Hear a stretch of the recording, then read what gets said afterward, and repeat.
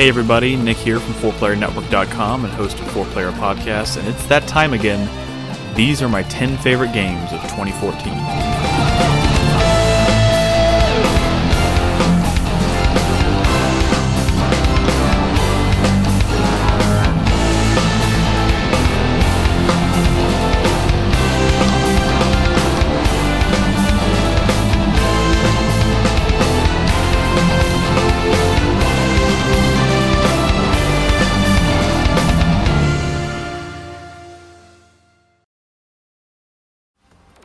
Alright, so I'm going to kick things off this year with a game that falls pretty far outside of my wheelhouse.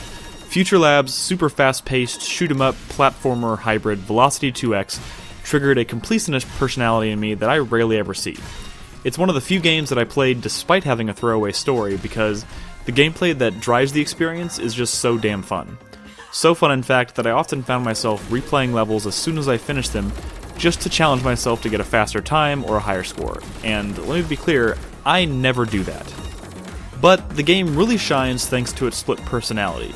The game quite literally splits the experience between bullet hell action and some of the fastest and most demanding on foot platforming I've ever played. In fact, these transitions happen mid level by forcing you to dock your ship and then complete platforming challenges on foot in order to unlock new paths back in the flight portions of the levels. The game does this several times per level and requires you to not only be on your toes, but to remember the layout of the levels and use that knowledge to accomplish faster runs. I love all of the different tools and abilities that are in play, too. The fluid dash mechanic allows you to bypass short distances regardless of any obstacles that stand in your path. The teleportation device can be thrown to allow for instantaneous backtracking, or even used to navigate tight passages. And there are just so many different intricate tools and abilities that are challenging and fun to use. Hell, it's another shining example of what the Vita can actually do given the chance, and like last year's Guacamelee, it's a beautiful example of how the PS3 and PS4 cross-play functionality is one of the most forward-thinking concepts in the industry today. Bayonetta is a game that I hardly expected to resonate with Western audiences, much less garner a full blown sequel.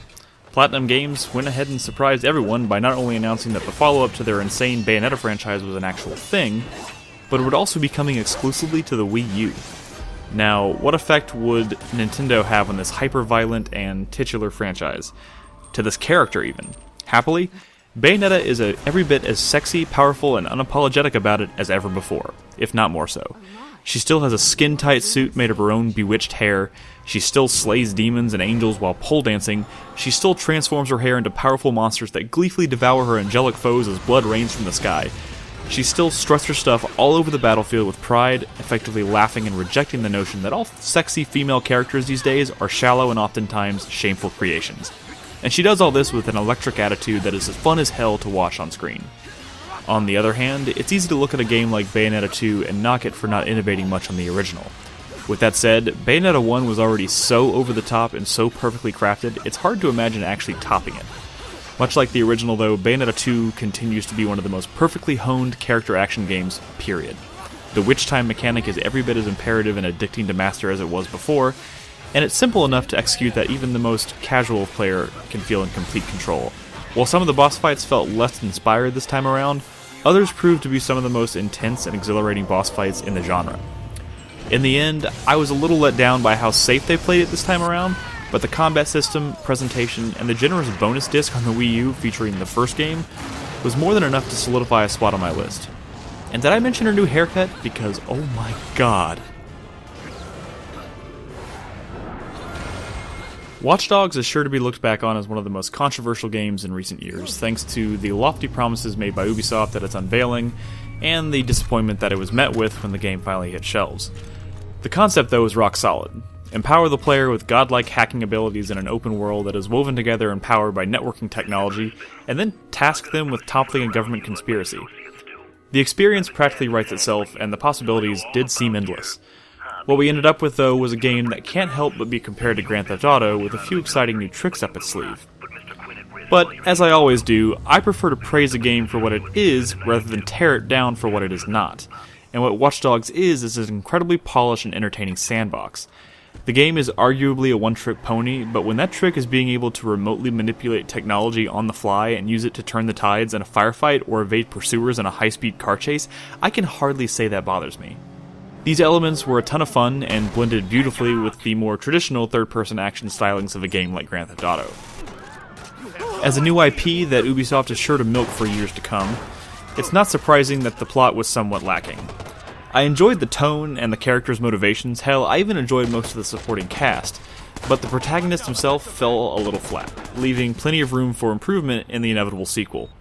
It's a series that seems destined to follow this, a similar trajectory as the Assassin's Creed franchise. When all is said and done, though, the important thing here is that you can cause blackouts with your phone, and that is just one of the coolest damn things I did in a video game all year long. So, aside from creating some of my favorite original horror IPs last generation, such as Fear and Condemned, Monolith has always been fun to watch because they never fail to leave their own mark on every project they take on. Even their brief foray into the Batman universe was anything but predictable.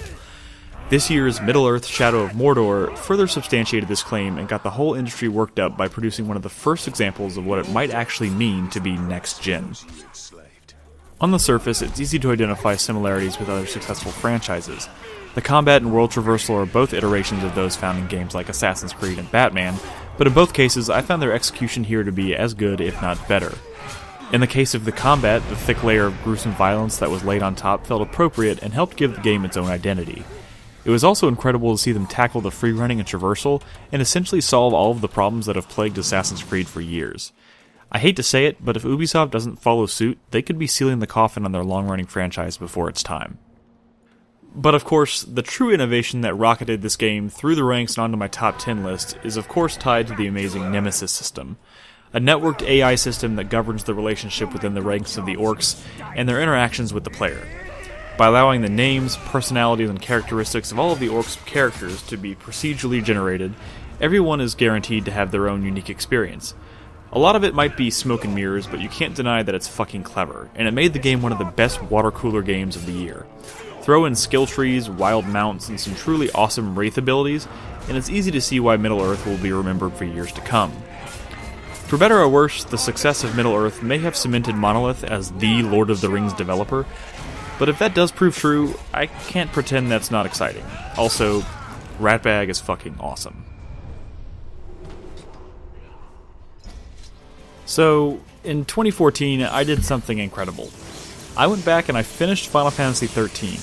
I plowed through Final Fantasy XIII 2, and then I spent 40 plus hours with Lightning Returns, back to back, and honestly, I loved it. And before you roll your eyes to the back of your head, I will admit that it's easy to understand why 13 is not the most fondly remembered Final Fantasy.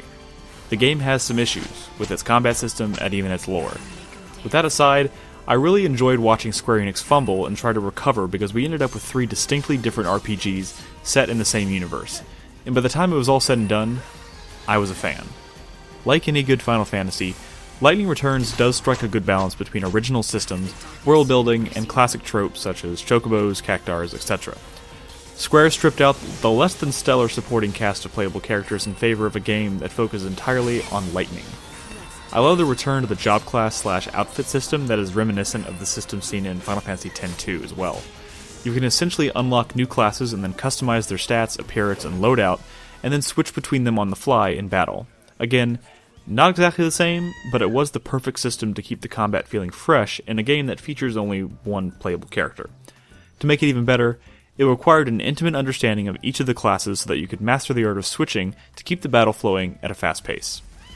In the end, though, the best parts of Lightning Returns were its new world structure, pacing, and the introduction of a new time based system.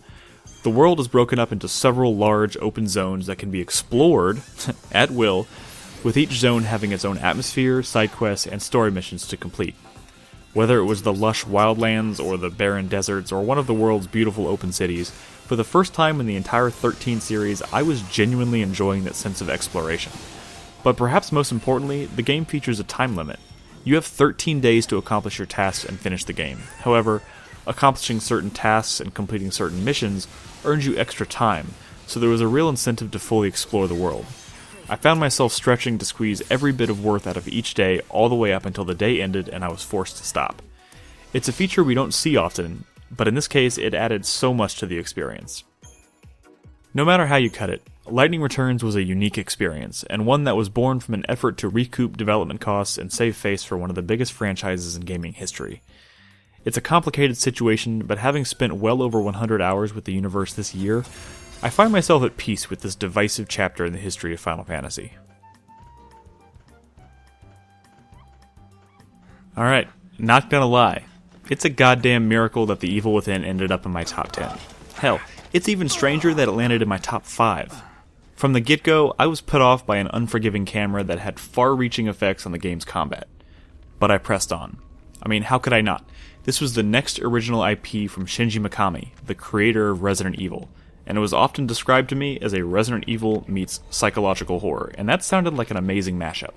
What I soon discovered is that this fundamental problem with the camera was something that I could adjust to over time, and once I did, all of the other elements that the game does get right settled into place, and I was in love all over again. First and foremost, I found myself actually enjoying the story, as over the top as it was, because it was so reliant on blending the edges between reality and imagination. Was anything happening to Sebastian in this game really happening? Was he dreaming? It's exactly the kind of context that I came to expect from the more recent entries in the Resident Evil franchise, but never found, to my dismay. Camera problems aside, the combat itself is a near perfect homage to the style that was born in Resident Evil 4. The combat has weight to it, and weapons make you feel powerful. But what really sealed the deal for me was the basic flow of the game. It's organized into clear cut chapters with a beginning, middle, and end, a classic gaming trope that seems rare in the genre these days. I loved returning to the hub world via these broken mirrors to catch my breath, read a newspaper, and upgrade my character and his weapons. Again, nothing new, but I found it to be a perfect fit for this game. But most of all, I actually loved the variety the game had to offer. Because of the psychedelic nature of the plot, it was impossible to predict where you would end up next and what horrifying monster would be hunting you down. Oftentimes, the transitions from one area to the next were just as incredible and mindfucky as the areas themselves. I won't spoil it for you, but this game really is a roller coaster ride that any fan of the genre should at least try. Some may argue that PT isn't a game at all, but I couldn't disagree more.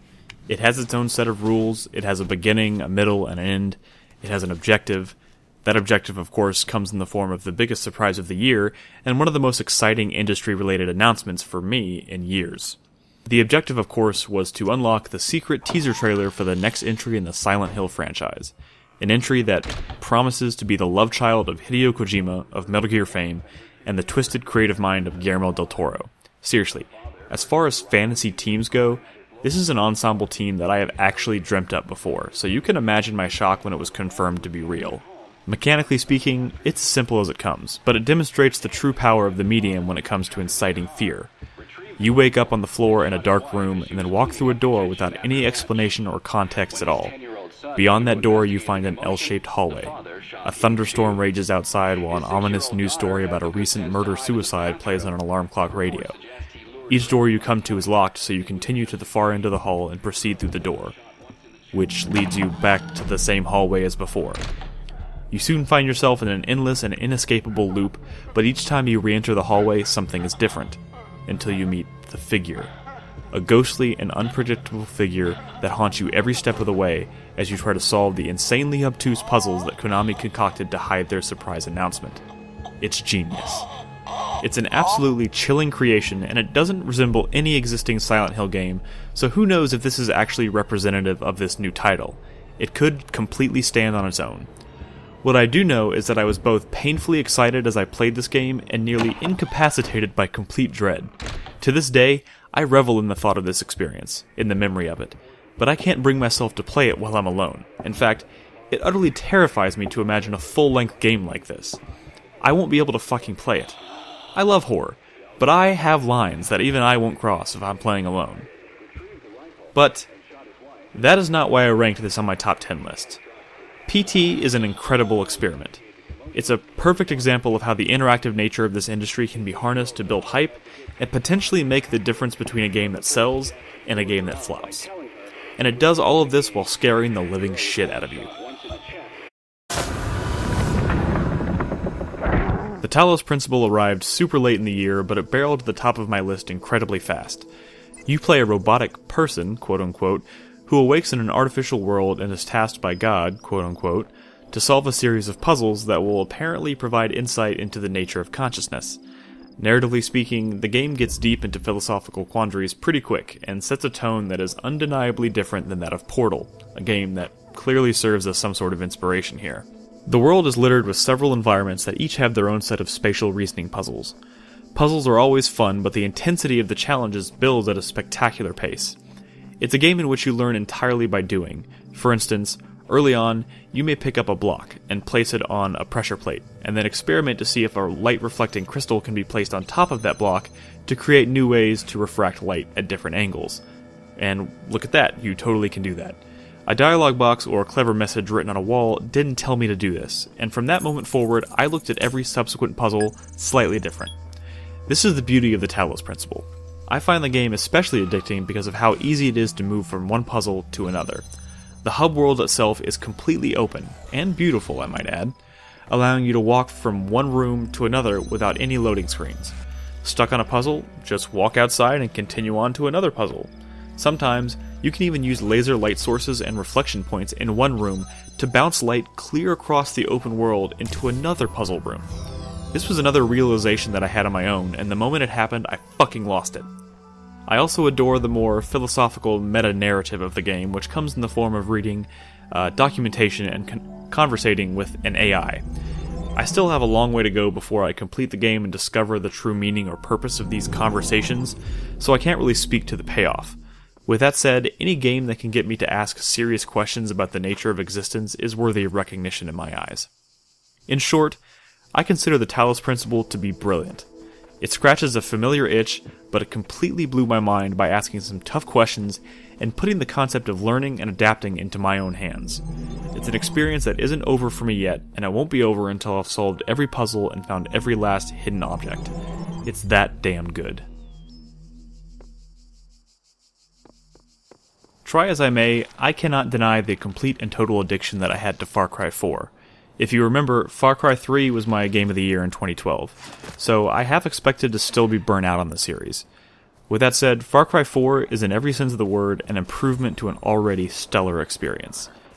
The fictional nation of Kyrat is far bigger and far more vertical this time around, making traversal way more exciting. Tools like the wingsuit and the gyrocopter are all made available very early on, and the ability to rock climb added a whole new dimension to the platforming. Wildlife plays a bigger role in combat scenarios and just adds a lot to make the world feel more alive. Moments of choice offer several opportunities to affect the outcome of the story, and I actually found several of these moments to be quite tough.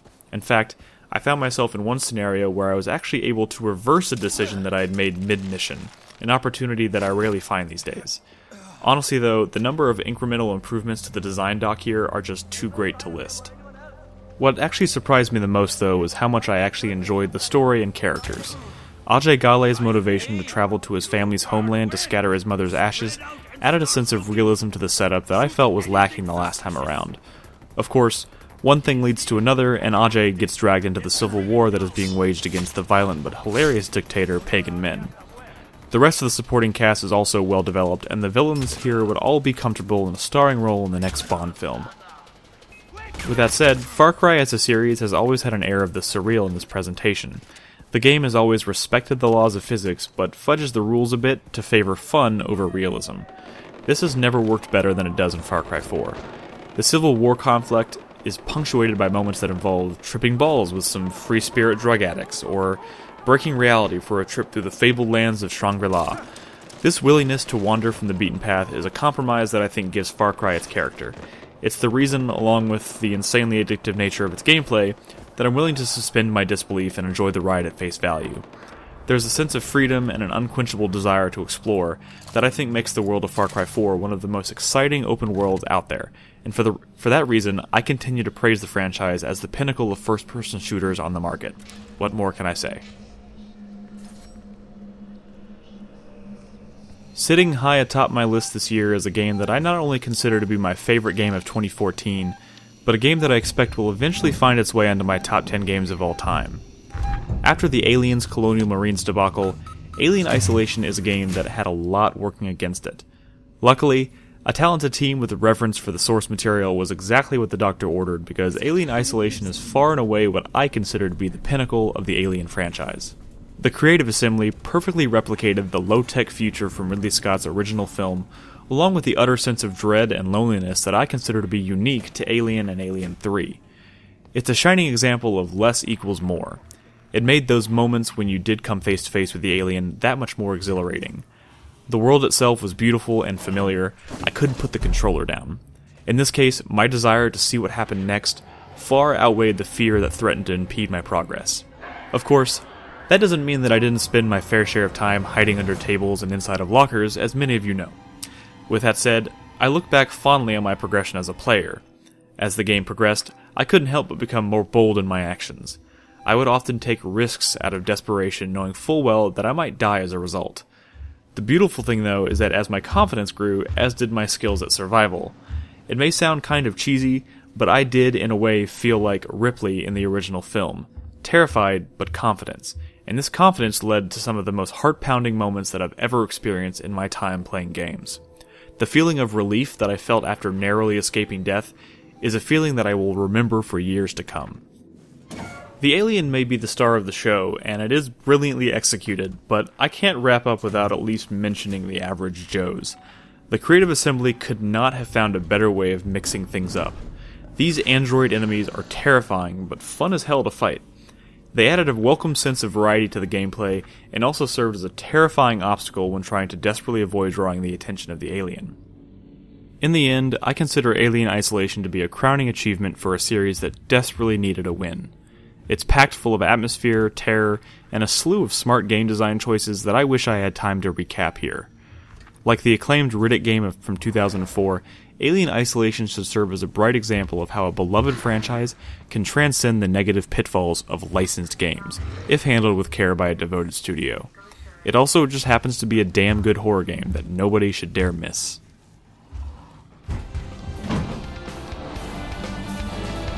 Well, 2014 is a wrap. It was a fun year, if not a bit controversial, but the excitement of a new generation of gaming is enough to keep my spirits high. Thank you so much for listening. Let us know in the comments what your personal top 10 was, and we hope you'll join us in 2015 over at 4playernetwork.com for another exciting year. We'll see you later.